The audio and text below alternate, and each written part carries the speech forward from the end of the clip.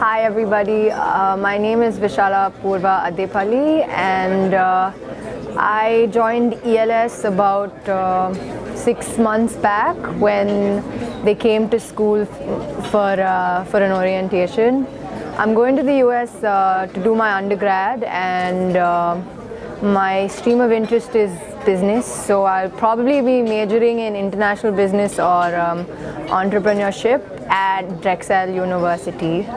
Um, so my experience with ELS, well, uh, I think they've been like this pillar of strength for me.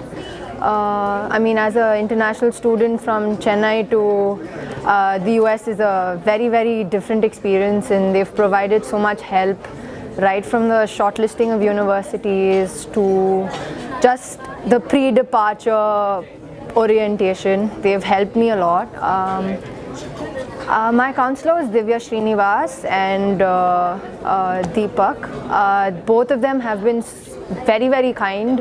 Uh, I, I, guess my case is a little peculiar because uh, I'm a student athlete.